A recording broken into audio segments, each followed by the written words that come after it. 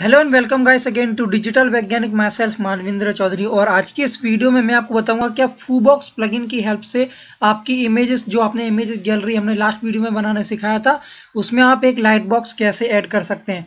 तो last video अगर आपने देखी नहीं है तो हमने लास्ट वीडियो में फू गैलरी एक प्लगइन है, उसकी मदद से अपने एक यहाँ पर गैलरी बनाना मैंने आपको यहाँ पर बताया था और उसमें एक फू बॉक्स वाला ऑप्शन था, यानी कि लाइट बॉक्स वाला ऑप्शन था।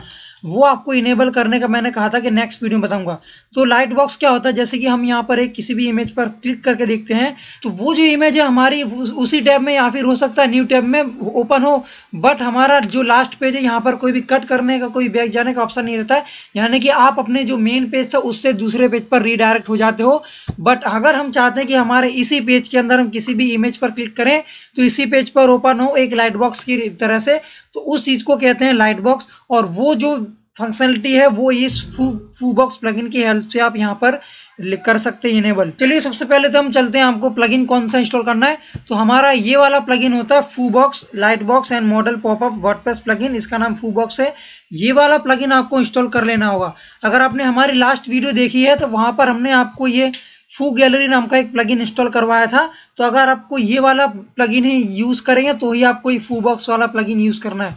तो यहाँ पर मैं सबसे पहले तो उस जो हमारा ये प्लगइन है, इसको अगर आप चाहें तो यहीं से डाउनलोड करने के बाद अपने वर्डप्रेस में अपलोड कर सकते हैं। वरना आप ये वाला नेम कॉपी करने के बाद अपनी प्लगइन लाइब्रेरी में, यहाँ पर प्लगइन लाइब्रेरी में जाकर एड न्यू करके वहाँ पर नेम को पेस्ट करने के बाद कर सकते हैं।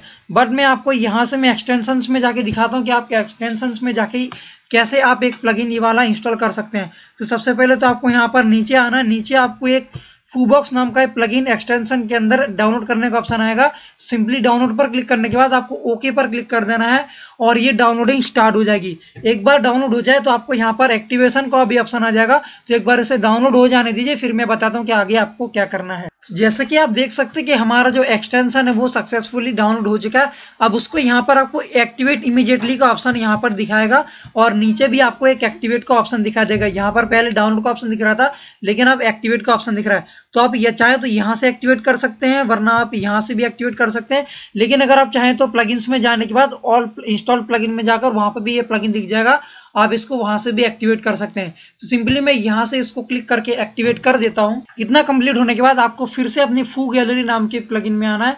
फू गैलरी में आने के बाद आपको सिंपली गैलरीज पर क्लिक करना है, जो हमने लास्ट वीडियो में क्रिएट की थी। अगर आपने लास्ट वीडियो नहीं देखा, कि आप कैसे आपकी एक इमेज गैलरी क्रिएट कर सकते हैं इस प्लगइन की हेल्प से तो आप वो पूरा का पूरा वीडियो देखिए, तभी आपको पूरा वीडियो समझ में आएगा कि हम ये फू बॉक्स वाला प्लगइन क्यों यहाँ पर यूज़ कर रहे हैं, या फिर फू गैलरी वाला ही हम यहाँ पर क्यों प्लगइन यूज़ कर रहे हैं।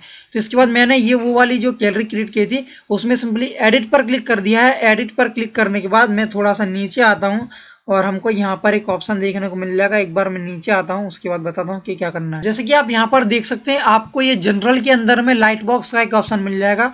लाइट बॉक्स में क्लिक करने के बाद आपको फू बॉक्स नाम का ये प्लग है, इसको क्लिक कर देना है। यह अपडेट का ऑप्शन हमको देखने को मिलता है। आपको सिंपली अपडेट पर क्लिक कर देना और बस यहाँ पर आपका काम पूरा हो गया। अब मैं एक बार अपडेट हो जाए तो मैं आपको लाइव दिखा देता हूँ कि कैसे आपके चेंजेस होते हैं।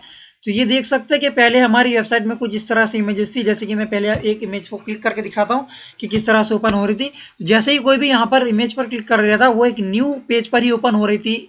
आप देख सकते हैं न्यू पेज पर एक वो इमेज रिडायरेक्ट हो रही थी। बट अब इसमें कैसा होगा, मैं आपको फिर से एक बार बैक जाने के बाद एक बार इसे पेज को रिफ्रेश करता हूँ और अब मैं रिफ्रेश करने के बाद दिखाता हूँ कि ये किस तरह से इमेजेस हमारी ओपन होगी। तो देखते हैं, हम, मैंने यहाँ पर जैसे ही ओपन की तो इमेजेस कुछ इस तरह से ओपन होगी। उसके बाद कोई भी यहाँ पर चाहे तो इस तरह से नेक्स्ट नेक्स्ट करके दूसरी सारी इमेजेस भी देख सकता है। और ये हमारा कट का बटन है। तो दोस्तों, यही सारे चेंजेस आपको देखने को मिलते हैं। अगर आप एक लाइट बॉक्स यूज़ करेंगे तो आपको इस तरह से दिखने को मिलेगा, वरना आप लाइट बॉक्स के बिना ही आप एक इमेज गैलरी क्रिएट करेंगे तो आपका ये जो इमेज है, वो नए टैब में ही, नए या फिर नई विंडो में ओपन होगी। तो इसी तरह से आपको लाइट बॉक्स इंप्लीमेंट करना रहता है अपने फू गैलरी में फू बॉक्स प्लगइन की हेल्प से। तो मैंने आपको बता दिया कि आप कैसे अपने वेबसाइट में लाइट बॉक्स इंप्लीमेंट कर सकते हैं। काफ़ी बेहद ही खूबसूरत दिखने में लगता है ये।